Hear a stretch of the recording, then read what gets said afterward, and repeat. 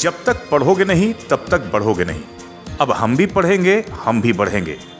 इस स्लोगन को चरितार्थ करने के लिए जहानाबाद हुलासगंज के भीटा में एक कार्यक्रम का आयोजन किया गया, जिसका उद्घाटन बिहार के पूर्व मुख्यमंत्री, हम पार्टी के प्रमुख जीतन राम मांझी द्वारा फीता काटकर किया गया। कार्यक्रम की अध्यक्षता हम पार्टी के नेता समाज सेवी राजेश रंजन द्वारा किया गया। इस मौके पर हम पार्टी के नेता रितेश कुमार उर्फ़ चुन्नू शर्मा जिला अध्यक्ष मनीष शर्मा सहित काफ़ी संख्या में महिला, पुरुष एवं आम आवाम शामिल हुए। पूर्व मुख्यमंत्री जीतन राम मांझी की बात सुनने के लिए हज़ारों की संख्या में महिला पुरुषों का जन सैलाब उमड़ रहा था। इस मौके पर पूर्व मुख्यमंत्री जीतन राम मांझी ने शिक्षा पर ज़ोर दिया। इन्होंने कहा कि अगर बेहतर बनना है तो पढ़ना होगा। पढ़ाई ही एक ऐसा हथियार है जिसके बल पर आपकी जीवन शैली सुधर सकती है और आप बेहतर बन सकते हैं। साथ ही साथ जीतन राम मांझी ने एक तरह की शिक्षा पर बल दिया। इन्होंने कहा कि कई ऐसे देश हैं जहाँ सभी को समान शिक्षा मिलती है। हमारी एक शुरू से ये मांग है। सभी को एक समान शिक्षा मिले। साथ ही साथ इन्होंने ये भी कहा कि जात पात की राजनीति होती है, लेकिन हमारे हिसाब से दुनिया में दो ही जात हैं, एक अमीर और एक गरीब। जीतन राम मांझी की बात सुनकर सभी भाव विभोर थे। वहीं कार्यक्रम की अध्यक्षता कर रहे हम पार्टी के नेता समाज सेवी राजेश रंजन ने कहा कि शिक्षा से बढ़कर दुनिया में कोई दौलत नहीं। अगर आप शिक्षित हैं तो निश्चित तौर पर आप दौलतमंद हैं। साथ ही साथ राजेश रंजन ने पूर्व मुख्यमंत्री जीतन राम मांझी की बातों पर अमल करने की बात कही। इन्होंने कहा कि मांझी जी ने हमेशा गरीबों, दलितों के हक हकूक के लिए जिस तरह से आवाज़ उठाई है, आप तमाम लोग कदम से कदम मिलाइए, शिक्षित बनिए और तरक्की के रास्ते पर अग्रसर होकर देश और दुनिया में अपनी एक खास पहचान बनाइए। इस मौके पर कलाकारों ने सांस्कृतिक कार्यक्रम के माध्यम से लोगों को मंत्रमुग्ध कर दिया। उल्लासगंज के भीटा में भीड़ देखते बन रही थी काफ़ी संख्या में। महिलाओं एवं पुरुषों की भीड़ पहुँची थी एवं जीतन राम मांझी जिंदाबाद, गरीब गुरबो एक होकर नारे लगाए जा रहे थे।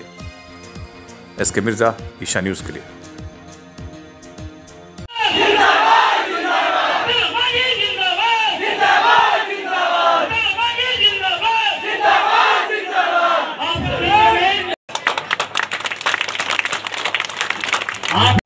हमारे पिता तुल्य अभिभावक और आप सभी के अभिभावक और इस पूरे बिहार विधानसभा के सबसे वरिष्ठ विधानसभा सदस्य बिहार सरकार के पूर्व मुख्यमंत्री हम पार्टी के संस्थापक संरक्षक माननीय श्री जीतन राम मांझी मैं आप लोगों से निवेदन करूँगा इतना जोश से इनकी आवाज़ को बुलंद करें। जब तक पढ़ोगे नहीं तब तक बढ़ोगे नहीं। आप लोगों ने प्रण ठाना है। अब हम भी पढ़ेंगे हम भी बढ़ेंगे। इसी कार्यक्रम के तहत हम लोगों ने हर तो हर गाँव में एक कार्यक्रम शुरुआत किया है कि सरकार के निधि से नहीं, हम अपने बच्चों को जो डेली एक कुरकुरे, दो कुरकुरे खिलाते हैं, एक कुरकुरे कम करके उस पैसे से हम अपना शिक्षक रखेंगे, जो शाम में बच्चों को बिठा करके पढ़ाएगा और हम अपना भविष्य में कुछ परिवर्तन करेंगे।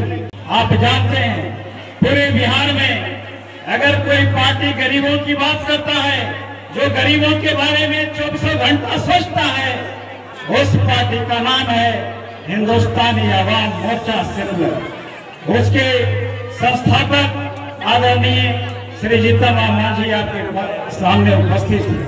आप लोग उस पार्टी की सदस्यता ग्रहण किए हैं। इसके लिए मैं तहे दिल से स्वागत करता हूँ। कलयुग का जमाना है। और शक्ति अगर है तो संघ में है, समूह में है। और बदकिस्मती बस हमारे संघ को, हमारे समूह को, समाज के कुछ लोलुप लोग, चलाक लोग, जात के नाम पर, धर्म के नाम पर क्या क्या के नाम पर तोड़े हुए हैं। और हमको अलग अलग कर रखे हैं। जिसके कारण हम पाँच उंगली जो है, बिखरे हुए थे। और जिस दिन एक बाँध हो जाए मुट्ठी, उस दिन बहुत बड़ा धमाका हो सकता है। जो आज नहीं हो रहा तो हम यही कहने के लिए आए हैं मेरे भाइयों, कि आज हमको आपको एक होने की ज़रूरत है, संगठित होने की ज़रूरत है। अगर हम संगठित नहीं होते हैं तो पचहत्तर साल आज़ादी के गुजर गए हैं। जो चालाक लोग हैं जो छल छत्र से आज़ादी का लाभ लेकर के बहुत आगे बढ़ गए हैं। और हम पीछे कतार में रेंग रहे हैं।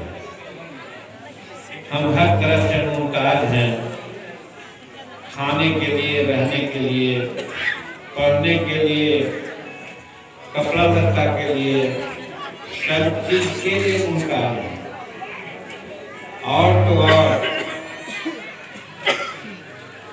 हमें प्रताड़ित किया जाता है, मारा पीटा जाता है। हमारे बहुमोटी का इज़्ज़त भी बहुत जगह पर लोग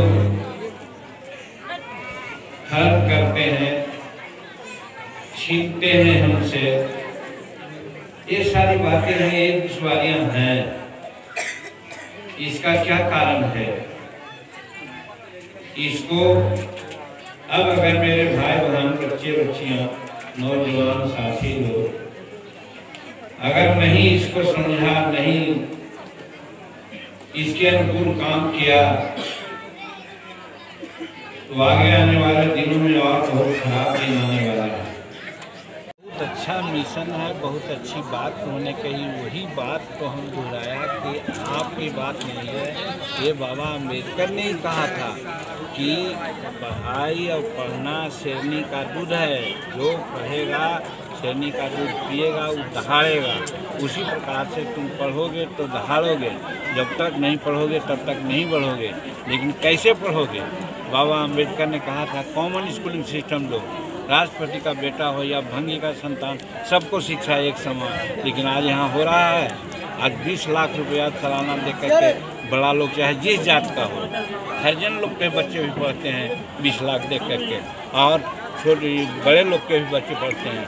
और लेकिन जो बड़े लोग के बच्चे भी और हरिजन गरीब के बच्चे भी जो गरीब हैं वो गाँव घर के स्कूल में पढ़ते हैं जहाँ पढ़ाई ठीक नहीं होती। कई राजनीतिक पार्टियों पे भी आपने निशाना साधा था सर कि चुनाव के समय में तरह तरह बातें करते हैं। पर्दे में रहने दी पर्दे में रहने दी आज का कार्यक्रम था जो महादलितों में भी महादलित है। मुसहर जाति है। उसमें शिक्षा का जो अभाव है शिक्षा का जो अभाव है उसके लिए हम लोग एक कार्यक्रम रखे थे कि जब तक पढ़ोगे नहीं तब तक बढ़ोगे नहीं। और अब इन लोगों ने ठाना है कि अब हम भी पढ़ेंगे हम भी बढ़ेंगे यही कार्यक्रम।